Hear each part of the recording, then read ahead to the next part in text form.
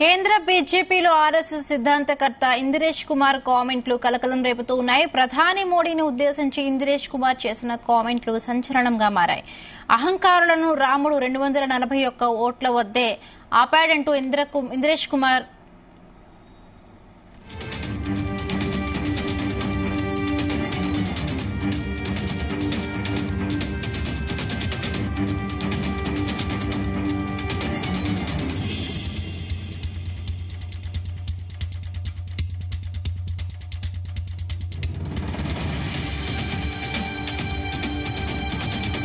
కేంద్ర బీజేపీలో ఆర్ఎస్ఎస్ సిద్ధాంతకర్త ఇందిరేష్ కుమార్ కామెంట్లు కలకలం రేపుతూ ఉన్నాయి. ప్రధాని మోడీని ఉద్దేశించి ఇందిరేష్ కుమార్ చేసిన కామెంట్లు సంచలనంగా మారాయి. అహంకారులను రాముడు రెండు వందల నలభై ఒకటి వద్దే ఆపాడంటూ ఇందిరేష్ కుమార్ ఘాటు విమర్శలు చేశారు. అందుకే రాముడు ఆ పార్టీని తక్కువ సీట్లకు పరిమితం చేశాడని ఆరోపించారు. అటు రాముడిని వ్యతిరేకించిన వారు రెండు వందల ముప్పై నాలుగు సీట్లకే పరిమితమయ్యారని విమర్శించారు. ప్రస్తుతం ఇందిరేష్ కుమార్ కామెంట్లు బీజేపీలో రాజకీయ దుమారం రేపుతూ ఉన్నాయి. అయితే ఇందిరేష్ కుమార్ కామెంట్లపై ఆర్ఎస్ఎస్ స్పందించింది. ప్రధాని మోడీపై ఆయన చేసిన కామెంట్లు వ్యక్తిగతమని వివరణ ఇచ్చింది.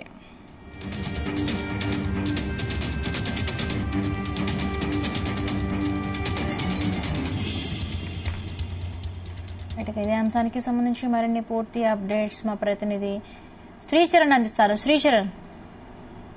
హిమబిందు జమ్మూ కాశ్మీర్ సంఘ్ పరివార్ ఇన్ఛార్జ్ ఇంద్రేష్ కుమార్ సంచలన వ్యాఖ్యలు చేశారు. ఆ, ప్రధానంగా నరేంద్ర ప్రధాని నరేంద్ర మోదీతో పాటు బీజేపీ పార్టీని ఉద్దేశించి కూడా సంచలన వ్యాఖ్యలు చేశారు ఆయనే. తన అహంభావం వల్ల బీజేపీ రెండు వందల నలభై ఒక్క సీట్లకే పరిమితమైందని కూడా సంచలన వ్యాఖ్యలు చేశారు ఆయనే.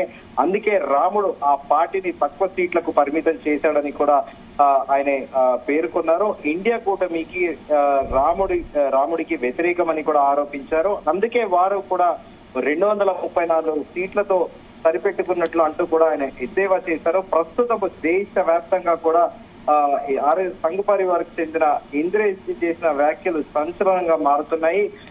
అంతకు ముందు కూడా ఆర్ఎస్ఎస్ చీఫ్ మోహన్ భగవత్ కూడా సంచలన వ్యాఖ్యలు చేశారు నాలుగు రోజుల కిందట.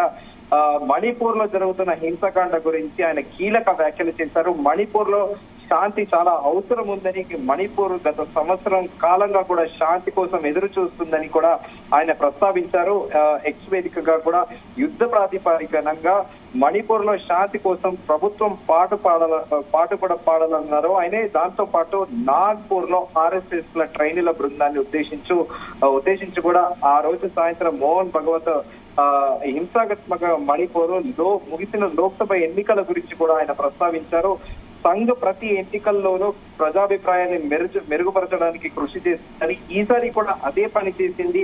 కానీ ఫలితాల విశ్లేషణలో చిక్కుకోలేదని ఆయన అన్నారు. అయితే ఎన్నికల ప్రజాస్వామ్యానికి అవసరమైన ప్రక్రియ ఇందులో రెండు మార్గాలు ఉండటంతో పోటీ నెలకొని ఉంది ఇది పోటీ కావడంతో ముందుకు తీసుకెళ్ళేందుకు ప్రయత్నాలు చేస్తున్నారు. కానీ దానికి ఒక గౌరవం ఉంది. అబద్ధాలు వాడకూడదు.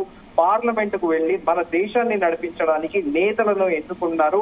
ఈ పోటీ యుద్ధం కాదు అని కూడా ఆర్ఎస్ఎస్ చీఫ్ మోహన్ భగవత్ వ్యాఖ్యలు చేశారు. ఎన్నికల సమయంలో ప్రతికూలతపై ఆయన ఆగ్రహం వ్యక్తం చేశారు. ఎన్నికల ప్రచార సమయంలో విభజ విభజనకు తావు తీసేలా ప్రసంగాలు ఉన్నాయని కూడా ఆయన అన్నారు. అసత్యాన్ని ప్రచారం చేయడానికి సాంకేతిక పరిజ్ఞానాన్ని పరిజ్ఞానాన్ని వాడారని అనవసరంగా ఆర్ఎస్ఎస్ను ఇందుకు ఇందులోకి లాగారని కూడా అలా వ్యాపించ చేసిందంతా కూడా అసత్యం అని కూడా అన్నారు. కాంగ్రెస్ పార్టీని ఉద్దేశిస్తూ కూడా ఆయన సంచలన వ్యాఖ్యలు చేశారు. ఎందుకంటే అప్పుడు ఎన్నికల ప్రచారంలో భాగంగా కేంద్ర హోంమంత్రి అమిత్ షాది ఒక ఫేక్ వీడియో సర్క్యులేట్ అయింది.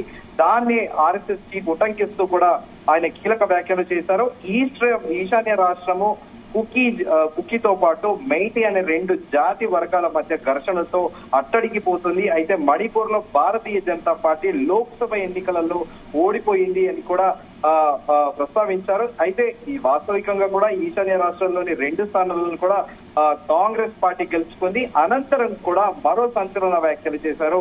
ఆర్ఎస్ఎస్ చీఫ్ నిజమైన సేవకుడు అహంకారం కలిగి ఉండడు.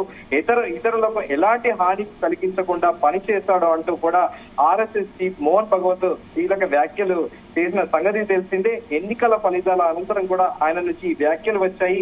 ఈ తరుణంలో ఆయన జూన్ పదిహేనో తేదీన కానీ పదహారో తేదీన ఉత్తరప్రదేశ్ ముఖ్యమంత్రి యోగి ఆదిత్యనాథ్ని కూడా మోహన్ భగవత్ కల మధ్య భేటీ జరగనున్నట్టు కూడా వార్తలు వస్తున్నాయి. దానికి ఎంత మేరకు అసందిస్థితి ఉంది అనేది కూడా తెలియదు అయితే పదిహేను సాయంత్రం ఆయన యోగితో సమావేశం కానున్నారని కూడా ప్రస్తుతం చర్చ నడుస్తోంది. వారి వారి మధ్య లోక్సభ ఎన్నికల ఫలితాలు ఉత్తరప్రదేశ్లో ఆర్ఎస్ఎస్ విస్తరణతో పాటు పలు అంశాలకు కూడా చర్చలకు రానున్నట్లు కూడా తెలుస్తోంది.